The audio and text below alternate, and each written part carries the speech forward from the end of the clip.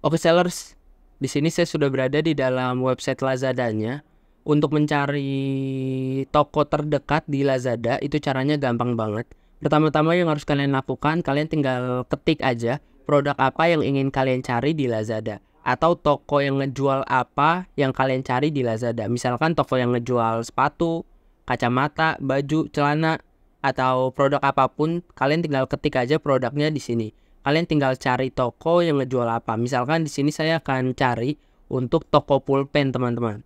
Oke, ketika kita ketik pulpen di sini pastinya yang akan muncul itu dari berbagai macam penjuru ya. Oke.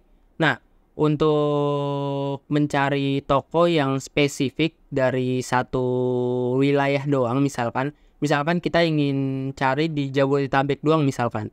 Itu caranya gampang banget. Jadi kita tinggal pilih aja ya uh, di filter di sini kan ada filter nih. Kalian tinggal scroll ke bawah. Nah di sini ada ship from teman-teman. Atau dikirim dari oke? Kita tinggal klik lihat lebih banyak. Kemudian di sini ada banyak sekali untuk pilihannya teman-teman.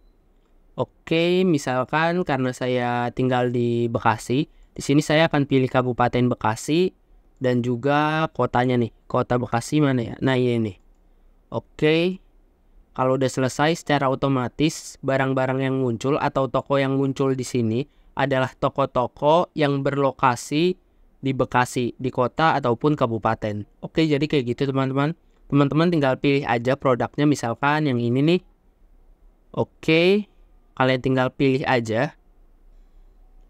Nah, di sini kalian bisa chat untuk tokonya jika kalian ada keperluan dengan tokonya atau jika kalian ingin membeli barangnya di sini kalian tinggal klik aja beli sekarang teman-teman. Oke, jadi kayak gitu aja untuk video kali ini. Sekian dari saya. Saya Ain Hidayat. Terima kasih.